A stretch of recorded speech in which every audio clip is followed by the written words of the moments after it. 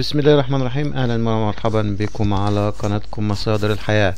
موضوع جديد آه، أشارك معكم هذه التجربة آه، والتجربة دي آه، مفيدة جدا مريت بها عانيت من فطريات القدم لسنوات لن تجدي أي علاجات كيماوية مراهم وغيرها.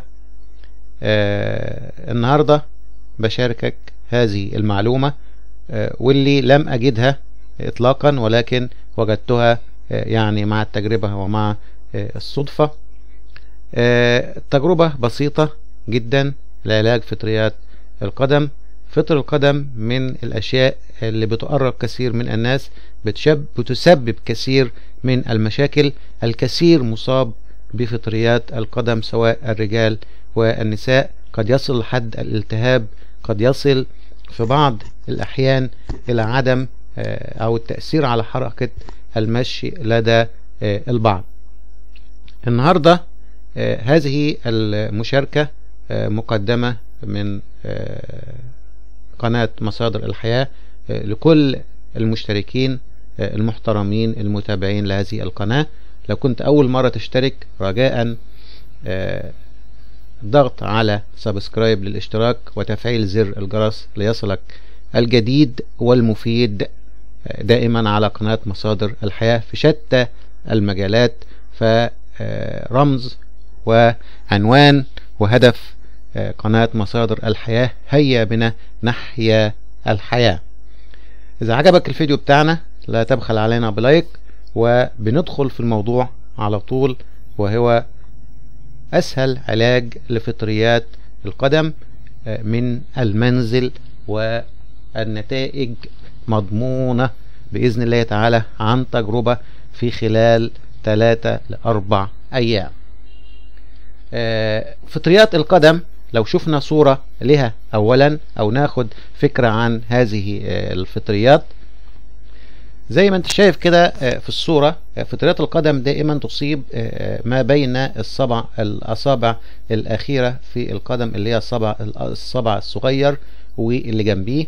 الإصابة بتكون كبيرة ما بين الصبع الصغير في نهاية القدم والصبع الذي يليه لأن الاتنين دول بيبقوا منطبقين تماما على بعض فبيسببهم رطوبة دائما بين الصبعين دول بالذات.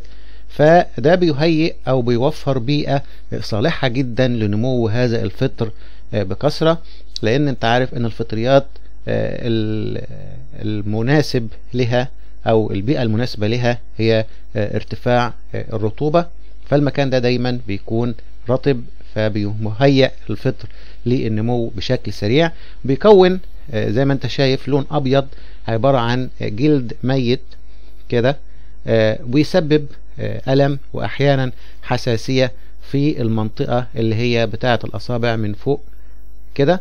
بيؤدي في بعض الأحيان إلى حدوث جروح في القدم نفسها وقد يتسبب في يعني الإصابة بعدم التحرك بصورة يعني بصورة طبيعية.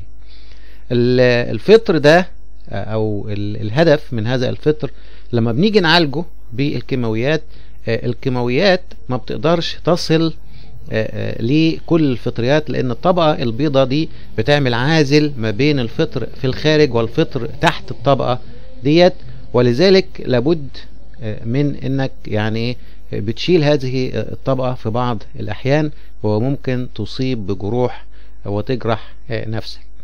علاج النهاردة هو العلاج المنطقة دي أو فطرات القدم دي بالبن المطحون الموجود الطبيعي جدا اللي إحنا بنشربه والبن معروف في كل دول العالم.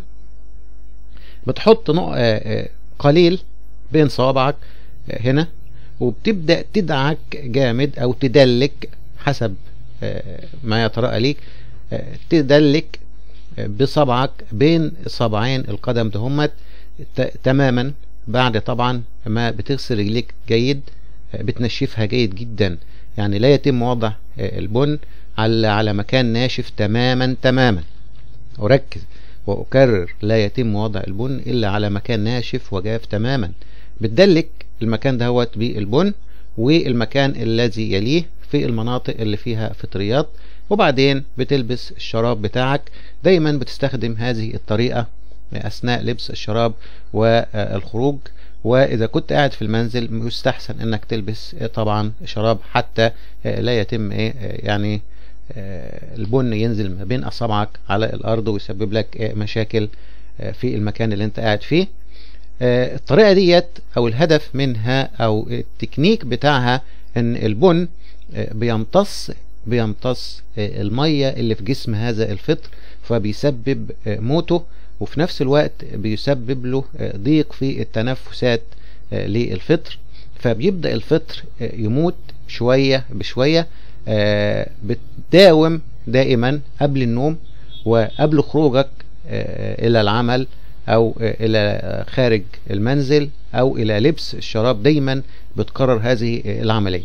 في خلال 3 أربع أيام بتبدأ تجد إن المكان ده الأبيض ده راح وبيبدأ المكان ينشف وجف تماما شوية بشوية. بتستمر معاه حتى يكون المكان ما بين الأصابع الجلد بتاعه زي جلد القدم بتاعتك تماما.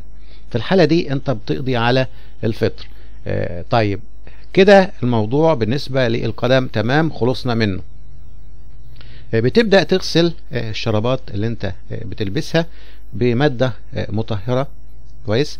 لأن طبعا الشراب بيبقى فيه آثار لهذا الفطر. طبعا الفطريات غير مرئية لن تراها بعينك المجرد.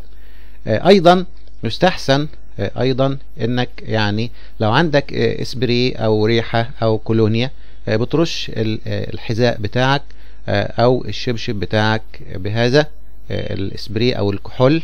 النقي الطبي من الصيدلية. كل ده بتقضي على مكان تواجد الفطريات حتى لا يعود الفطر إلى قدمك بكده أنا شاركتك تجربتي والحمد لله يعني وفقت بفضل الله وهي بالصدفة. طبعا لعلاج هذه المشكلة اللي كانت بتسبب لي أرق كبير جدا وكان لا يجدي لا وصفات طبيعية ولا علاج كيماوي في نهاية الفيديو إذا عجبك لا تبخل على نفسك بالثواب فمشاركتك لهذا الفيديو وإرساله وعمل share له بتعم الفائدة والدال على الخير كفاعله. فاكسب ثواب و like. إذا عجبك الفيديو share. لا تنسى الاشتراك في القناة فقناة مصادر الحياة هي لإسعاد الناس وتعريف الناس كيف يحيون الحياة بصورة أفضل. إلى أن ألقاكم في فيديو آخر. أتمنى لكم جميعا الصحة والعافية والسعادة. والسلام عليكم ورحمة الله وبركاته.